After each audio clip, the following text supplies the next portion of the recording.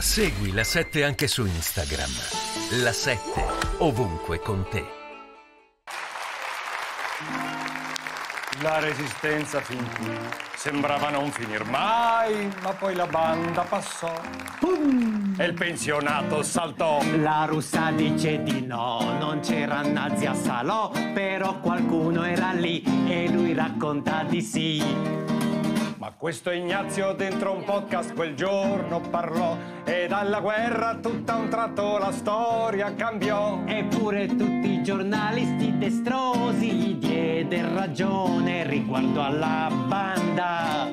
Dei musicisti pensionati un po' anziani annunciò che erano a Roma perché c'era da fare uno show. Dalle finestre poi la bomba lanciò, quel partigiano sbagliò e Hitler lì si incazzò. Quando la banda saltò, neanche un nazista morì e i partigiani cattivi adesso sono tutti vivi. Perché la storia è così, dipende come la scrivi e dei nazisti cattivi per la russa sono dei divi. I fasci erano eroi e gli italiani burloni, i partigiani cattivi ed i fascisti erano buoni. Ignazio suona per noi mentre ti affaccia ai balconi.